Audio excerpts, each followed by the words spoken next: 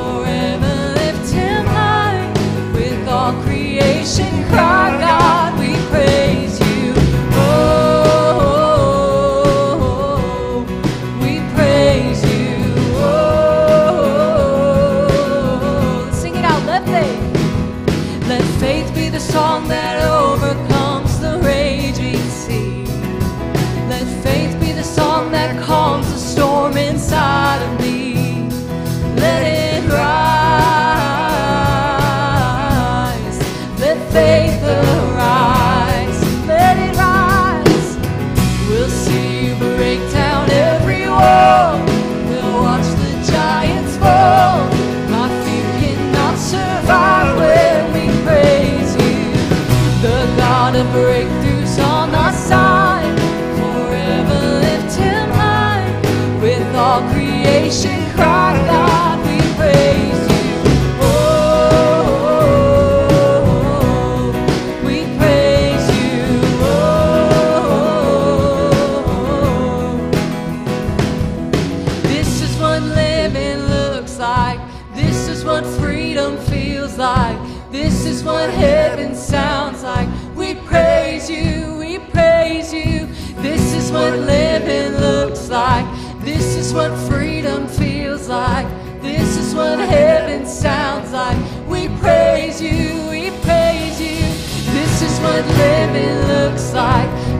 what freedom feels like. This is what heaven sounds like. We praise you, we praise you. This is what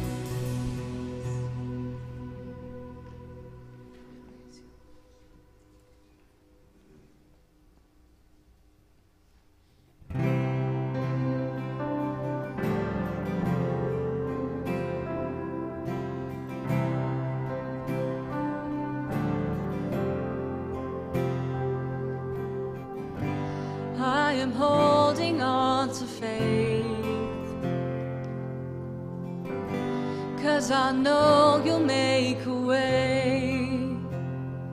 I don't always understand, I don't always get to see, but I will believe it. I will believe it.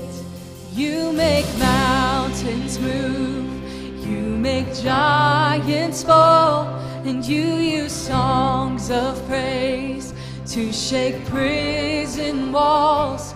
I will speak to my fear. I will preach my doubt that you were faithful then. You'll be faithful now.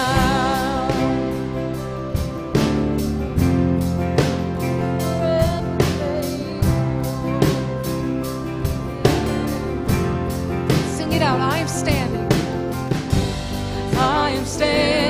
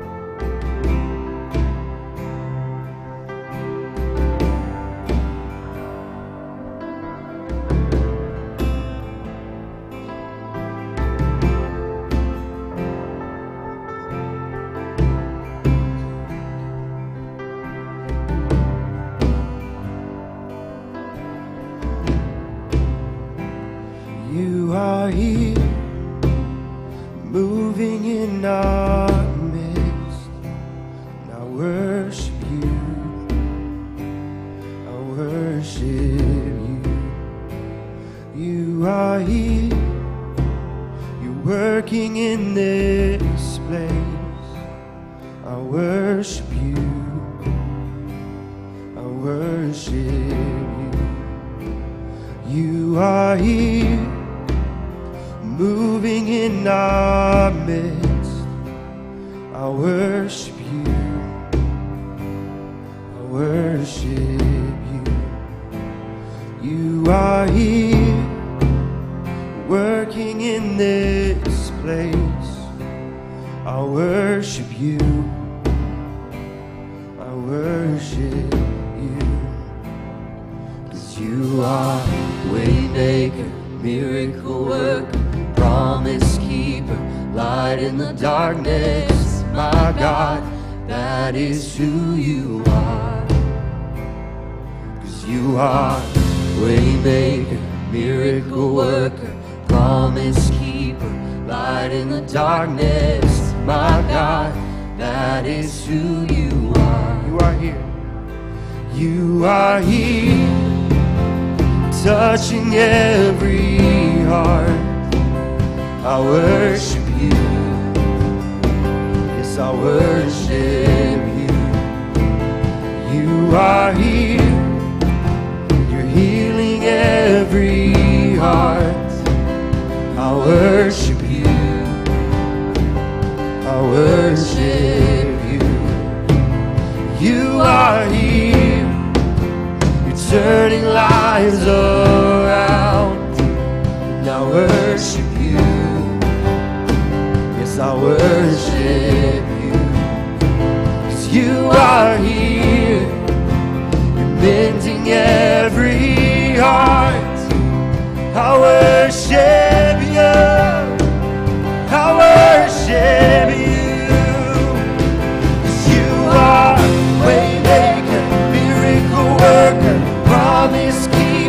light in the darkness. My God, that is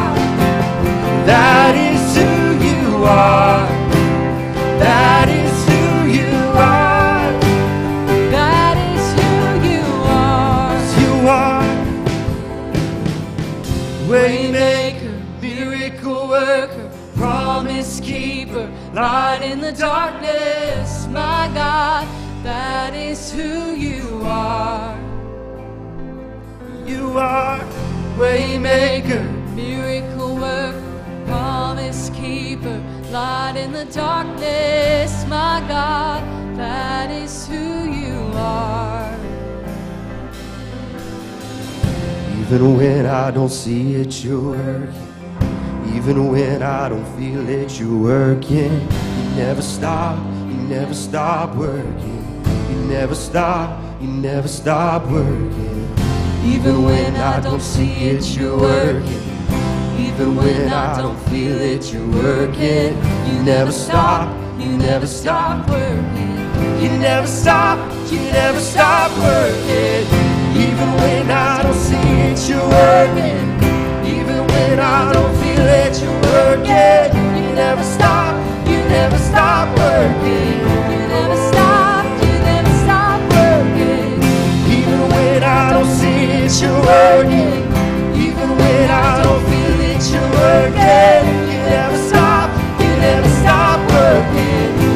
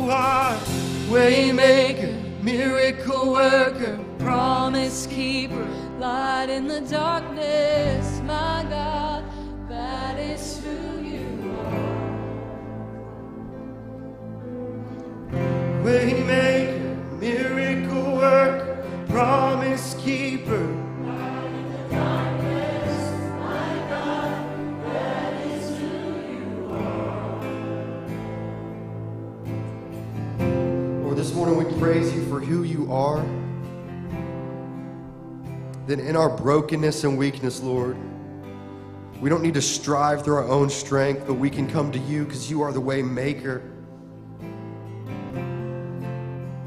If we're walking where you're leading us, Lord, we don't have to worry. Even in the times where we don't seem to feel it or see it or know what's going on. Lord, I pray you would give us the confidence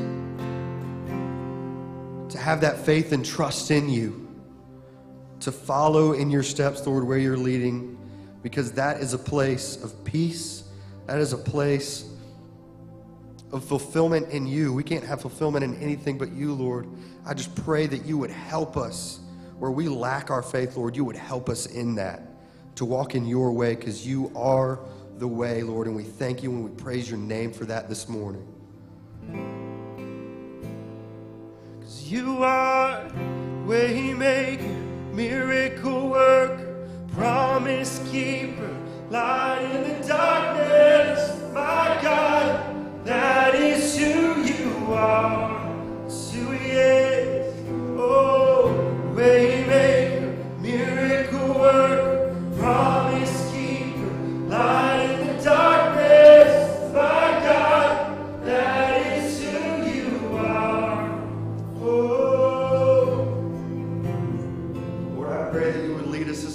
would speak to our hearts because we're longing to hear from you. That's what we need. Pray we would lay down anything we might have brought in that's distracting us, Lord, and focus on you. Lay it at your feet and follow the one who is the way and the truth and the life, Lord. Pray that we would be obedient to you this morning. In your son's name we pray. Amen.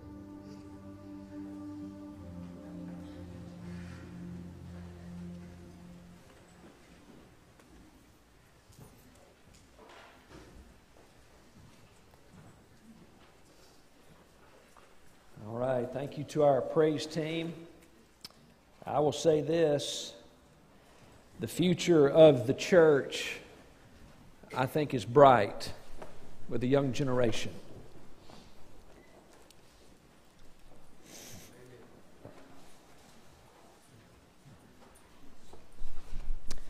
I have a distinct advantage over you all from week to week.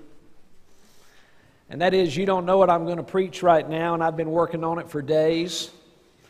And so it's marinated within me for quite some time.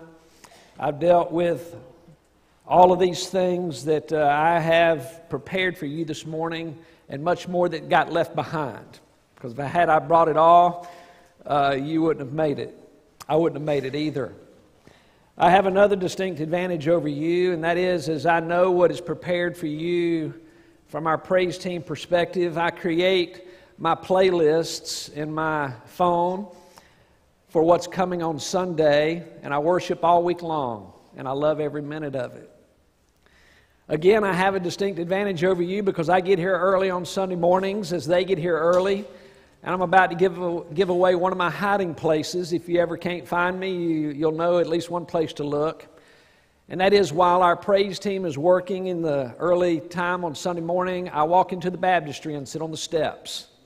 And I listen in there so that nobody will find me until now I've given away my hiding place. And I continue to worship, looking forward to this moment on Sunday mornings. And I'll say to you this you have been prayed for all week long. I know that. Because I know who your prayer partners are, and I know how they pray. And I know how I've prayed for you as well. And you were prayed for all the way up to the beginning of Sunday school this morning as well. And I just want to encourage you with that because I believe we're not here by accident. I don't know why you came today. I don't know what you're hoping for or expecting today to go home with or whatever, but I do believe God has a word for you this morning. This year, as 2022 rolled around, we began with a series of messages that was entitled, What Moves the Heart of God? And if you remember anything of those messages that we began in January, we began to talk about the fact that of all things that move the heart of God, faith is probably the number one thing that moves the heart of God. The scripture tells us in Hebrews chapter 11 and verse 6 that without faith it is impossible to please God. Jesus was amazed at faith as he watched it on earth when he was here. He was also amazed at people's unbelief which is the opposite of faith, when they just did not believe in him. And it amazed him in both cases. As we went through that series of messages, we finalized that series with a message that brought us to Matthew chapter 6, that brought us some words of warning, if you remember. And the words of warning came from Jesus in Matthew chapter 6, beginning in verse 1, where he said, Be very careful then how you do your acts of righteousness before men. He told us we have to be very careful because as we begin to follow God in faith, as we seek to obey God and honor God with lives of faith, and we grow closer to God, what the, the tendency could lead to is that then we could be puffed up and possibly proud of who we are in our acts of righteousness. So Jesus says you need to be very careful then how you do these things so that your motivation is pure and that your heart is as right as it can be. And he gave us three examples, and we talked about those. He told us you're not to give in this way, but then he teaches us how we are to give. He said you are not to fast in this way, he said, But this is how you are to fast. And then he said to us, You are not to pray like this. But then he said, This then is how you should pray. And that's where we've been since then. Because then he taught us how to pray when he said, Our Father, who art in heaven, hallowed be thy name.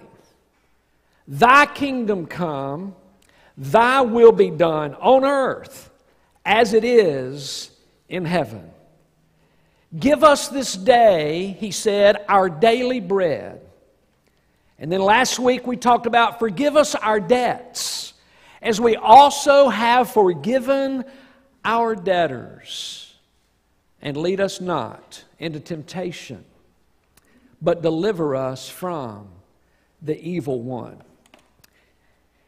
Jesus said, This then is how you should pray Our Father. Oh, our dearest, loving Heavenly Father, you are sovereign you are King of kings. You are Lord of lords. There is no one beside you. There is no other God before you. There is no other God. You are God over all creation. And you, Father, have invited us into a loving relationship with you where we have been given access to you through your Son, Jesus Christ, so that we can address you as our dearest Father, Daddy. Oh, what a joy to know that God has invited anyone into a relationship with Him through Jesus Christ, that we then can address the God of all creation, the sovereign King of Kings, as our dearest Heavenly Father. Oh, if that. I prayed this morning as I listened to the prayers of others in this circle before Sunday school. And I said again, Lord, may we never get over these facts. May we never grow so ho hum about these kinds of facts and these truths that just are mind boggling to me that we can talk to God. He invites that, He enjoys this. And then He says, begin with these words Hallowed be thy name. God, my desire is to hallow your name, to lift high the name of Jesus, to exalt your name above every other name, to make it known, to glorify it, to make it known as being holy. God, it is my desire that, that your name be hallowed through my life, through who I am, the things I say, the things I do, my actions, everything about me, Lord, may I hallow your name. May people see and know the name of Jesus Christ through me. And then he says, Thy kingdom come. God, I invite your kingdom rule over my heart, Lord, over my mind, over everything about me. Lord, your kingdom rule is not anything about a border or, or some kind of territory. It is about your rule in my heart. Lord, may my life be given to your rule over everything in me. In fact, God, your will be done in my life on earth as it is in heaven. Lord, your will in heaven is done instantly, instantaneously. There's no hesitation. It is done with great joy. It is done with great happiness. And, and again, just like that, Lord, that's how I want your will to be done in my life. As if I were in heaven right now, I want it done on earth. And then Jesus pivots the prayer as we have said, God, I want to hallow your name. I want your kingdom to rule and I want your will to be done. And He allows us to focus on ourselves for a moment. He says, Give us this day our daily bread. It's a humble reminder that even though the psalmist in Psalm 139 says that we are fearfully and wonderfully made, intricately woven together in our mother's womb by God, that our lives are still very fragile. And Lord, I need daily provision, and only you can give it to me. And so, God, I trust you for every daily need I ever have. And then, as I said last week, we, we talked about this massive subject of forgiveness. Lord, will you forgive me a debt that is so astronomical that I cannot pay? Lord, would you forgive this debt that I have as I then seek to also forgive the minute debts that others may owe me in comparison to what I owe you? Oh, that's big. And then we come to this final phrase in the prayer before we next week move into the Easter season, which we're now in. And Jesus uses these words again, prayed in the context of community and lead us not into temptation, but deliver us from the evil one. The title of my message this morning is this Pray I Do This Well.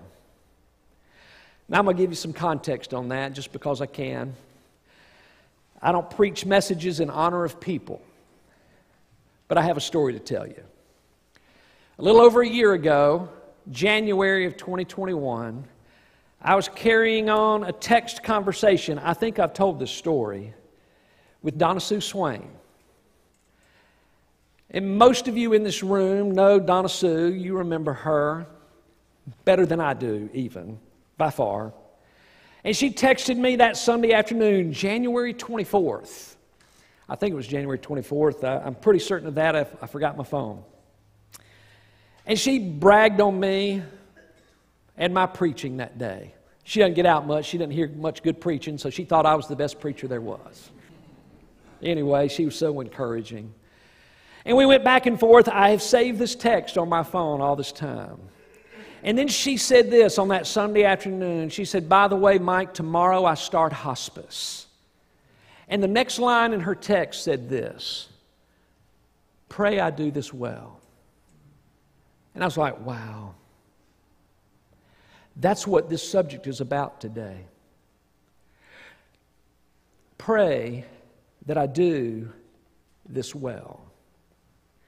Wednesday night, I shared a little bit of kind of a snapshot into this morning with our Wednesday night group. And I began by telling them that this part of the Lord's Prayer is indeed a prayer of humility. I shared several things here at the beginning of what I'm going to share with you now with them, and that is that this prayer of humility grows out of this distrust that I have in myself. Why? Because I know me. I know Mike pretty good. I may not know every dark, deep recess of my heart the way God knows it because I can't understand my own heart, but I know me pretty good, and I want to publicly acknowledge my deficiency in handling all the things of life.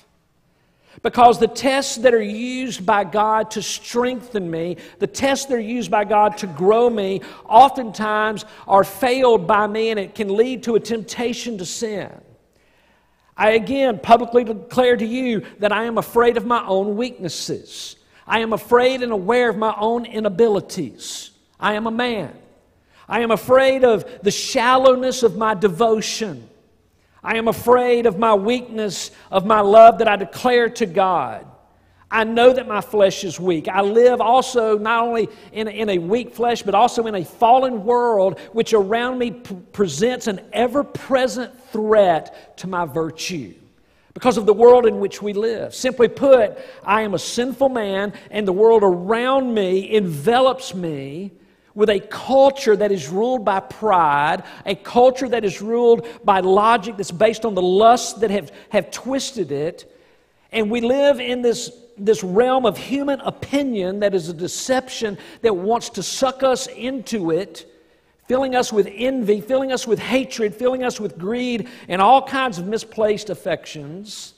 Evil tendencies abound and they dominate all of us and all around us. I'm like Miss Donna Sue. I want to do things right. I want to do this well. But so often it feels like that I yield to the unceasing and the unrelenting pull and this force of the world and my sinful nature against me. I want to do things well. I don't always accomplish that. God has put us in this world for His glory, yet the world is dangerous. And it's dangerous, we are weak. I would say to you this do not kid yourself. Because without divine protection, you're in serious trouble without a knowledge that apart from the guidance and the deliverance of a, of, of, a holy God in your life, you will not make it. I don't care how good you think you are, I don't care how holy you might pretend to be. On your own, you will fail. And these words of Miss Donna Sue just still ring in me today. Pray, Mike, that I do this well. God is our only hope at times like. God is our only refuge. He is our only fortress. He is our only protection that we can hold on to. Which, which turns into this prayer Lord, do not let me get into a situation that will devastate me. Do not let me get into a situation that will ruin me. Lord, you are my rock. You are my shelter. You are my hiding place, is what the prayer is. You are my covering. And I ask you, Lord, to protect me, and I ask you for my deliverance. Now, let me give you three quick definitions before we try to answer these three questions that are before us today. The first definition would be this word lead, where he says, Lead us not into temptation, but deliver us from the evil one. It's a very simple word, it means to guide. Lord, would you lead me through life? Would you guide my steps? Would you guide my thoughts? Would you guide my actions and everything I do? So it's a guidance term. Lead me, Lord, in this way. The second definition I want to give you is the word deliver. And it's an interesting word in the original Greek language that can literally describe a snatching away, to snatch out. So let me kind of help paint a picture for you for just a moment as we pray. Lord, lead us not into temptation. Guide us, Father, in everything we do and deliver us from the evil one. Lord, if I get a little too close, if I begin to mess up, if I begin to get in my flesh, Lord, would you snatch me out of the clutches of the evil one? Lord, would you protect me when I uh, was maybe trying to protect myself and trying to do right? And because I'm who I, I, I am, who I am, I, I lost my way. Lord, would you snatch me out? In that way. A wonderful word picture. And then this word temptation is a word that we must define today because this word has a dual meaning. It has two very distinct meanings in the original Greek text, okay? And so uh, there's, there's two sides to this one coin, if you will. The first definition of this word temptation is sin, okay? It is the sin that we can fall into. The second definition of this word is a test or a trial in order to prove the genuineness of one's faith. The word can mean both things. So, Those definitions are important to us so that we can consider. I, there's two very distinct prayers, okay? Lord, okay, I don't want to be tempted to sin. Lord, this test and this trial is kind of tough right now, and, and I'm still tempted to, to yield to things that will result in sin. But Lord, either way, I don't want to give in, whether it's sin, the temptation of sin, or the temptation to, to quit under the tests and the trials of life that are used by God to prove my faith. So let's try to answer three questions this morning as we, as we think about praying this prayer the way we should, the way Jesus intended for us. And the first question is this What do I need to know about life's trials? What do I need to know about life's trials? Well, let's address these first two things that I just mentioned. The first one is this We have an enemy who wants to destroy us. You have an enemy today, you must know this, who has a much greater purpose than just to make you do bad things, to make you think wrong thoughts, to make you say things that are not God honoring. You have an enemy today that seeks your destruction, period. In John chapter 10 and verse 10, Jesus put it like this He called him the thief. He said, The thief comes to steal, to kill, and destroy. Satan, your adversary, is a thief that comes to steal anything he can from you in life, to kill whatever he can in your life, and to destroy you, period, end of story. Peter puts it like this in 1 Peter chapter 5 and verse 8 where he says the enemy the devil prowls around like a roaring lion seeking whom he may what? Devour. He wants to steal. He wants to kill. He wants to destroy. He wants to devour you. You are not up to the task on your own. You cannot do it yourself if you have your Bibles and you want to look, go to 2 Corinthians chapter 11. Listen to what the Apostle Paul said to this church. He said to them, beginning in verse 1, I feel like this, verse 1. He says, I hope you'll put up with a little of my foolishness, but you're already doing that, is what Paul says. He says, I am jealous for you with a godly jealousy. I promised you to one husband, to Christ, so that I might present you as a pure virgin to him. Then listen to what he says in verse 3 But I am afraid that just as Eve was deceived by the serpent's cunning, your minds may somehow be led astray from your sincere and pure devotion to Christ. Paul understood the reality of things for this church, and this reality still exists for us today. And that is just as Eve was deceived by what? By the serpent's cunning. He can lead us astray even though we began with a pure and sincere devotion to Christ. Do you understand what I'm telling you when I say to you today, you have an adversary today? He is called the accuser of the brethren. He is called a thief. He is called a roaring lion. The Bible says he disguises himself as an angel of light. He works through people, he works through all kinds of ways. Why? Because he seeks your destruction. And you must know that. And apart from a humble realization in prayer to a holy God, God, if you are not my leader, if you are not my guide, Lord, if you don't even take over where I'm about to really mess it up and snatch me out, Lord, I don't stand a chance. I need your help today. No one in this room can stand and say, I'm above sin or above the serpent's cunning and his deception. Now, the second thing you need to know about life's trials is this other side of the coin. And that is on the God side of the coin where he tests us he allows us to go through trials to prove the genuineness of our faith. We will all face challenges that test us. Can I get a witness? Some of you have gone through challenges that I am, quite honestly, very grateful that I have not had to do. Because I don't know that I would have withstood the test.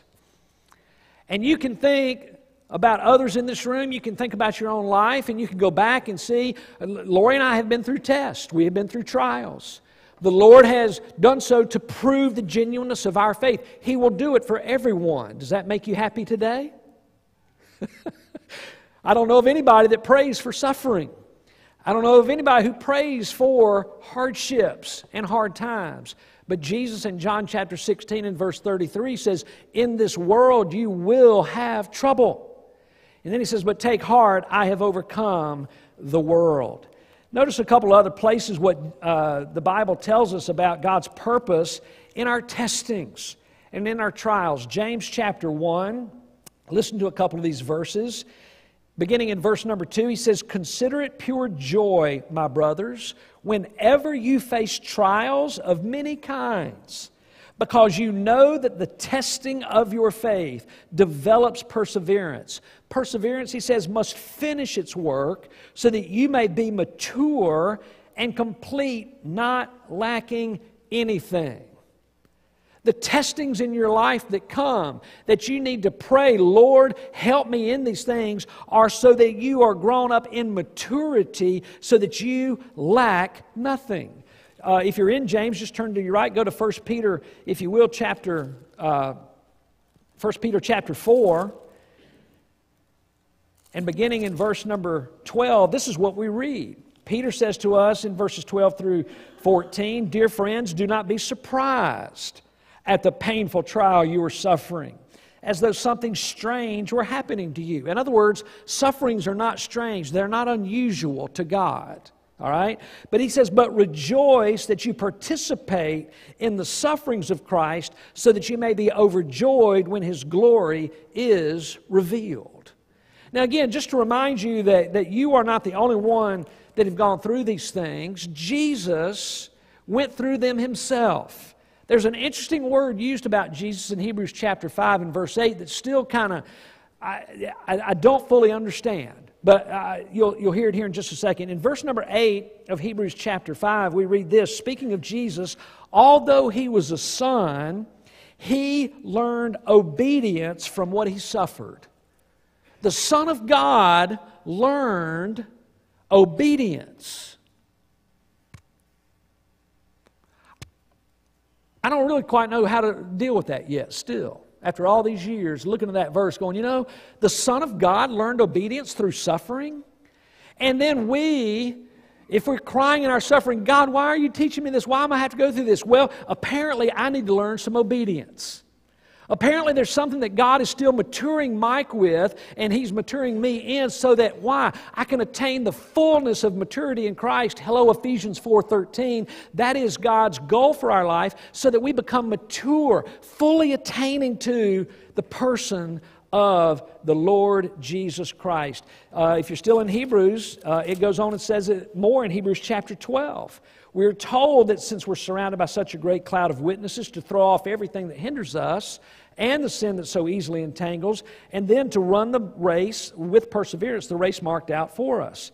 And then he says, Let us fix our eyes on Jesus, the author and the perfecter of our faith, who for the joy set before him endured the cross, scorning its shame, and he sat down at the right hand of the throne of God. Consider him, we are told who endured such opposition from sinful men, so that you will not grow weary and lose heart.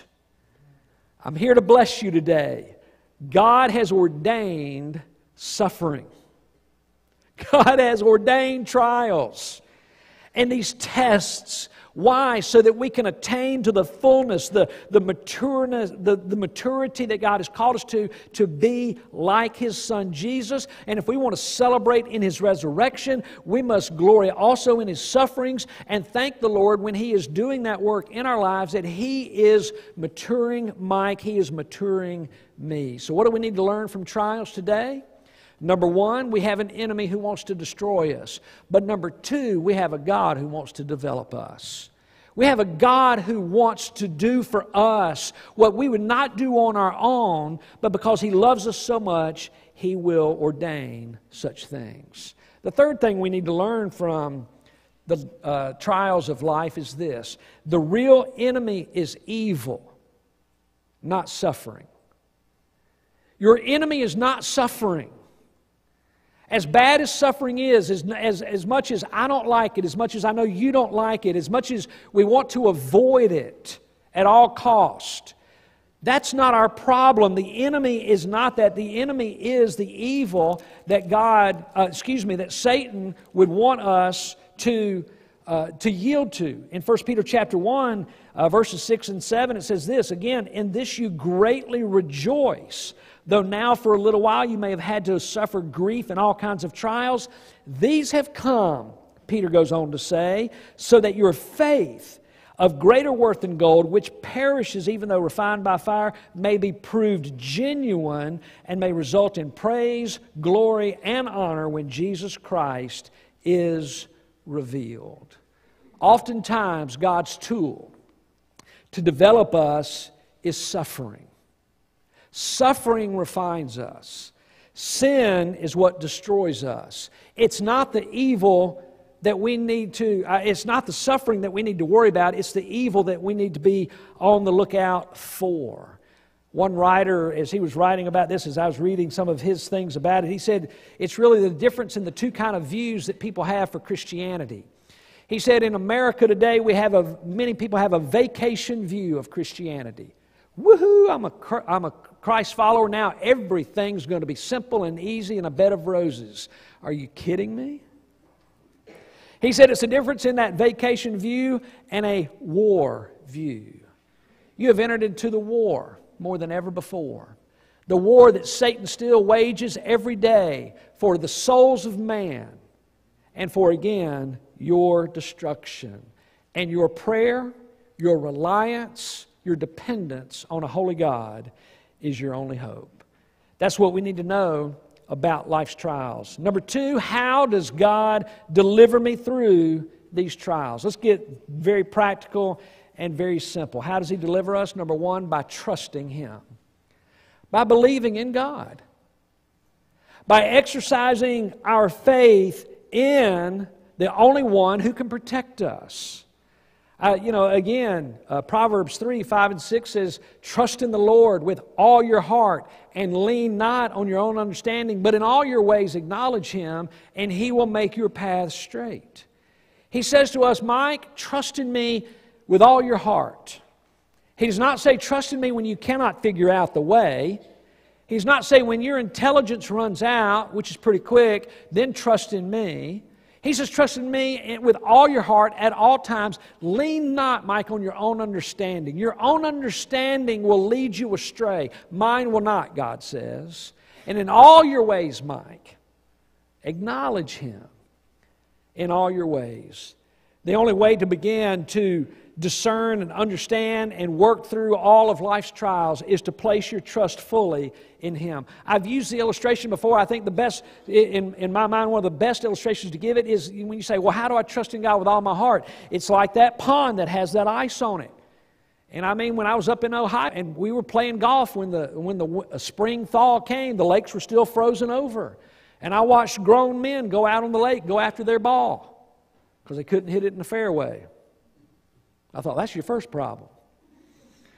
Second problem is you're walking on that ice now, and I ain't going out there after your ball. You can do it if you want to. I'm not going. But that's what trusting in God is all about. When you say, okay, God, I'm putting my, the full weight of everything I am in your hands because I know you're not going to let me down. I know you'll not let me fall. That is what it means to trust God. When you, when you shed every other belief, every other faith, every other option that you can believe in and say, God, you are it, that's when salvation comes. That's when you are a child of the King. And that's when you know you are in the good hands of a loving Heavenly Father. Trust in Him. Number two, we have to submit to Him and surrender our lives to Him. This, again, is what it says in Proverbs 3, where He says, Trust in the Lord with all your heart, lean not on your own understanding, but in all your ways acknowledge Him, and He will make your path straight. Again, I love what Peter says in 1 Peter chapter 2 and verse 23 as he talks about the example that Jesus gave us to follow. And he says how Jesus entrusted himself to the one who judges justly. We must entrust ourselves to him. If you think you can come to God today and still hold some of the cards and still have some, of, some authority in His say over your life. I don't know where you've got that from. It's not certainly not in the Bible. It's certainly not anything I've ever taught. It's not anything that God would have ever had you learn. It is just your flesh that continues to want to hold on to certain things when He has said, You have to submit everything to me. And as you surrender all of your life to me, then, then I'll begin to show you the way. The third thing I would tell you to deliver you through trials is simply this knowing God's Word. Knowing God's Word. I've said before, and it hadn't been too long ago, and this is just going to challenge you. Are y'all okay with being challenged every so often? Is that okay for me to do? You know as much of God's Word as you want to.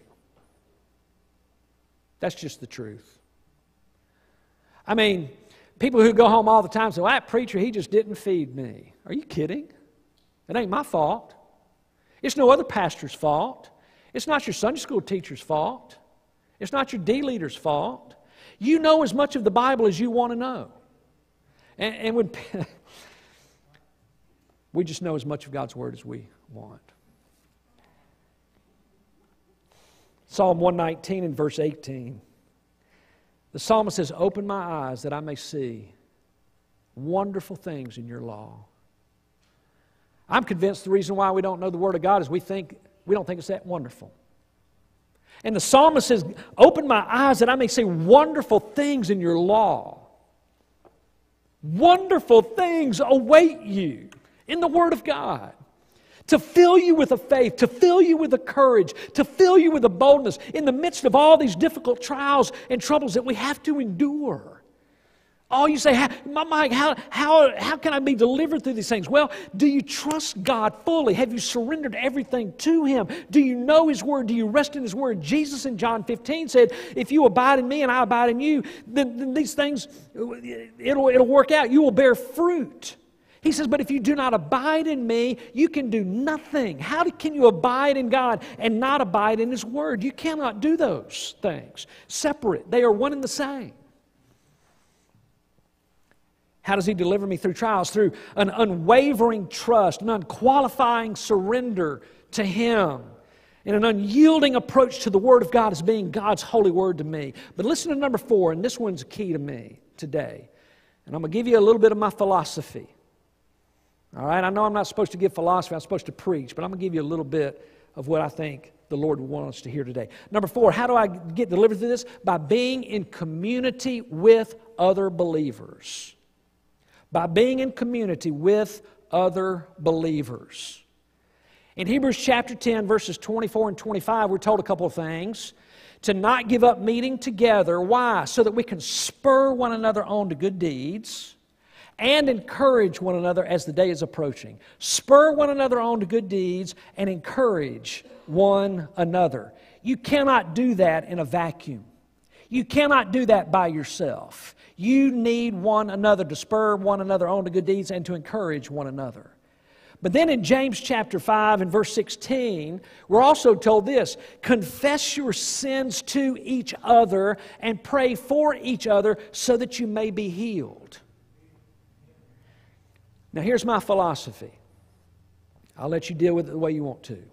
If anybody looked at me today and said, Mike, I can only give you one, I can't give you both. I can either be with you in church on Sunday morning, Mike, or in a discipleship group on Sunday night. Which one should I go to? I would unequivocally tell you go to a group on Sunday night and skip Sunday morning. That's my philosophy. Now, you may not agree with me, and that's quite all right. We don't have to agree on that.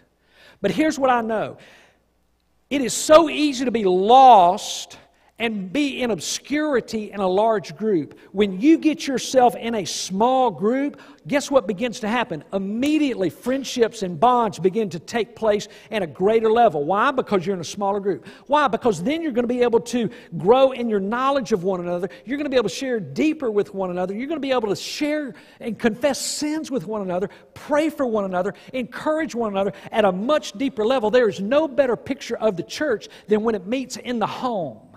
There's no better picture. That's where it started in the book of Acts. And there's no better opportunity for you to grow deeper in not only in knowledge, but in fellowship and in community and in prayer and in lifting one another up and, and strengthening each other in holiness and godliness than in that group like that. And I am not forecasting and I'm not a prophet, but look out, America, as the church may be having to go underground one day. Just look out. Then what are you going to do? If this is all you've ever had right here, now listen, we're, we're to be here in corporate worship. Don't get me wrong, don't go out and misquote me. But if you had to only pick one, that's where I would send you today. If you need to know your options for a D group tonight, let me know after church. I can help you. What are the goals of the trials of life? Is the last question. Obviously, number one, the first one, we've already answered it and that is to be like Christ. The goal of these kinds of things in life is to be like Him. Trials are not unusual for God, they are used by God for our benefit. And I would say to you this that it is your calling to such things, it is the way of the kingdom of God. Number two, it produces humility, a characteristic that is used by God and necessary to be used by Him. These kinds of trials that produce this kind of humility will take care of a lot of the arrogance that exists in a lot of people. God will not use arrogance, it is far too ugly and it assumes far more on the person than it does than it gives to God. Our goal is to be like Christ. It is to produce humility. Number three, it is to cultivate endurance. This is what the Hebrew writer said in Hebrews chapter 12. We are to run with endurance the race that is marked out for us. The only way you can run with endurance is to continue to run a little bit at a time, then more, and continue to run a little bit more, and continue to run a little bit more. And so, guess what? If one trial is over with and you have a little rest, look out, another one will come because God is continuing to want to create and cultivate your endurance. The Christian life is not for the faint of heart. There are a lot of people who have said the Christian life is very difficult to live. I say to them, no, you're wrong. The Christian life is impossible to live. It's impossible to live. You must rely on the gift, the presence, and the power of the Holy Spirit in you for you to have any chance to live the Christian life. It's impossible. None of us can do this. Your pastor cannot do it. You cannot do it apart from this kind of trust and reliance and surrender on the Holy Spirit of God. And then this final word I give you today, which to me takes it back full circle. When I think about what are the goals of the, the, the, the trials of life, it is this it develops, they develop a deep, abiding love and trust in my dearest Father. Our Father who art in heaven. And as these trials develop that trust in that dearest Father that I know has me, I go back to the beginning again and I begin to pray even more once again. Our Father who art in heaven, hallowed be thy name. Thy kingdom come, thy will be done on earth as it is in heaven. Oh Lord, I've already trusted you to give me this daily bread and you have every day. You've never failed me. And Lord, as, as you do that, I thank you for it. And Lord, forgive me this astronomical debt that I have of sin as I forgive others these little minute debts that they have committed against me. Lord, they're nothing compared to what I owe you. And thank you, Lord, and I ask you one more time to lead me not into temptation, but to deliver me from the evil one. Pray I do this well. Wow, what a confession. Miss Donna Sue knew she was on the last leg of her final test. And that godly woman had enough of the Spirit of God in her at that moment to say, Pray. Pray I do this well. Man.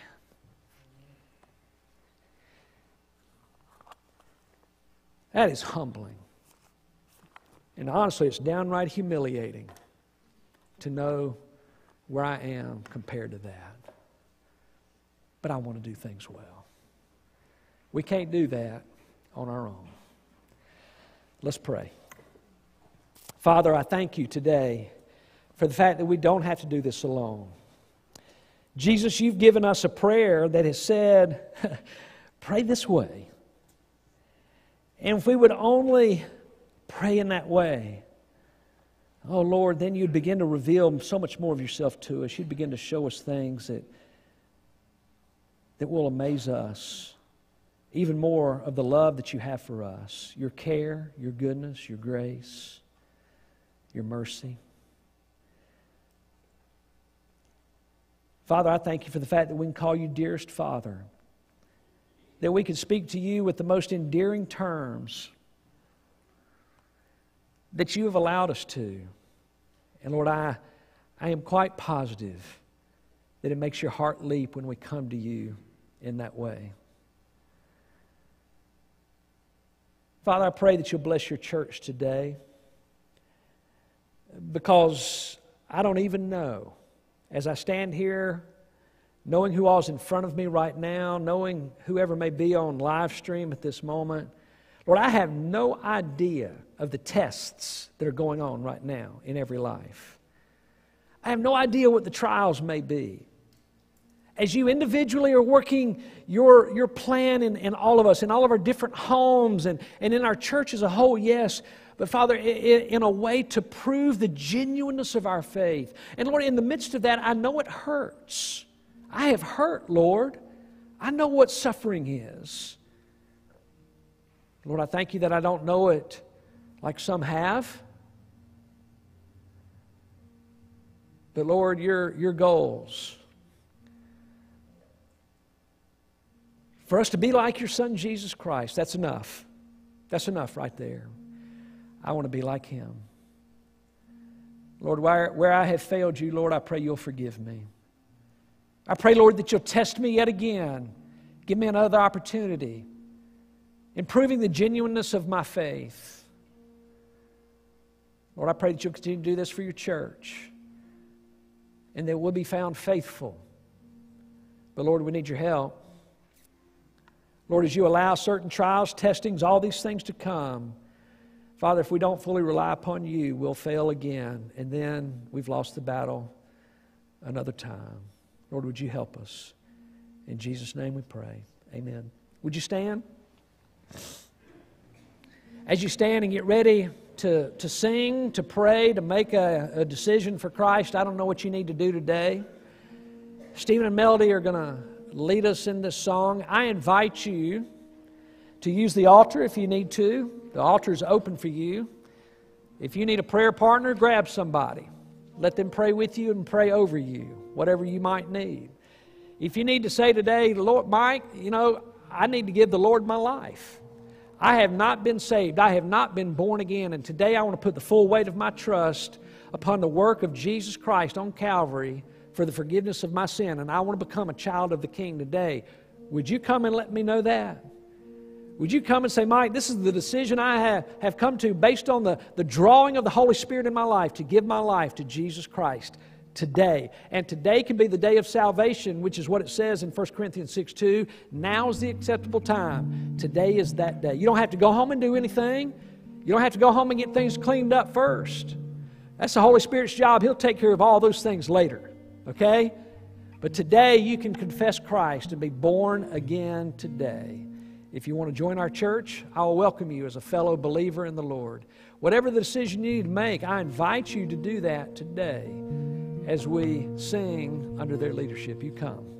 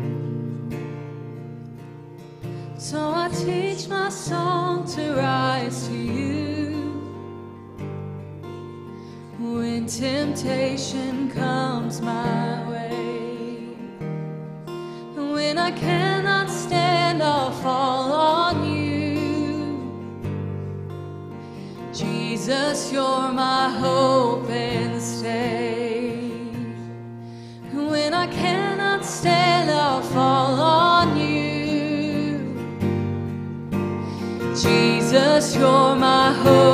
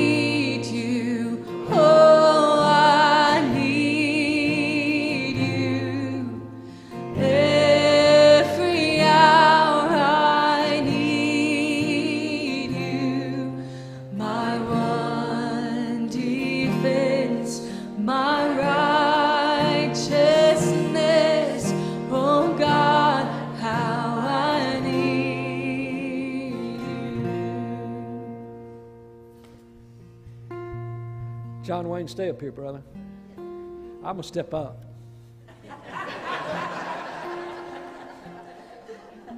I'm either too. I'm going to tell you about a new friend I just made. His name is Joe. You want me to tell you everything I know about Joe? That's what I know. Joe came to me and said, Mike, I need to be saved.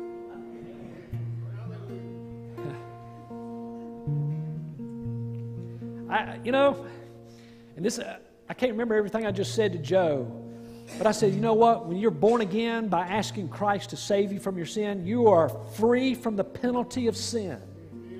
I also said you are free from the guilt that comes from sin. No more penalty, no more guilt, no more shame, gone. Because when Jesus saves you from your sin and you are washed by the blood of the Lamb and your sin are, is gone, placed as far as the east is from the west, never to be brought up again, here is a free man today named Joe.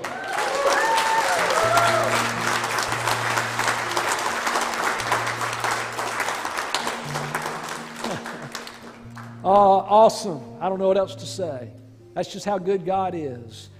And Joe might like to know your name too. You come and introduce yourself to Joe. And you tell him something that you mean. If you will, if, if you don't mean it, don't say it. Joe, I'm going to be praying for you. I want to pray for you as you begin your life with God in Jesus Christ as a new creature, as a new Christian. And if you mean it, you come tell him. And you, then you follow through and you pray for him. All right? I hope you'll go to a D group tonight. I get to lead one tonight. I can't wait. I don't get to do that too often, but I am tonight. But uh, anyway, Miss Kathy, I th- still think has a. We forgot to put her in the the video, but a 40 day prayer initiative. If you want to talk about praying for 40 days, you talk to Miss Kathy uh, on your way out. Let's pray as we go today and just rejoice and thank God for who He is. Lord, I thank you today for the fact that you still save sinners like me, like Mike, or that you would save me from my sin still amazes me. And that, Lord, I can live guilt free myself, free of the penalty, free of ever having to hear about my sin again, Lord, because that's what you have decided to do. You will never bring it up again. You've cast it out because you've made me born again into your family. Lord, I thank you for the fact that you've done that for Joe today through a very simple confession of the heart and belief that you are the only salvation for us today. Thank you for the, uh, the redemption found in the blood of Jesus. Thank you, Lord, for your goodness. Lord, help us to do things well. Pray, Lord, we pray today that we can live life well, like Miss Donna Sue said. We love you. It's in Jesus' name we pray. Amen.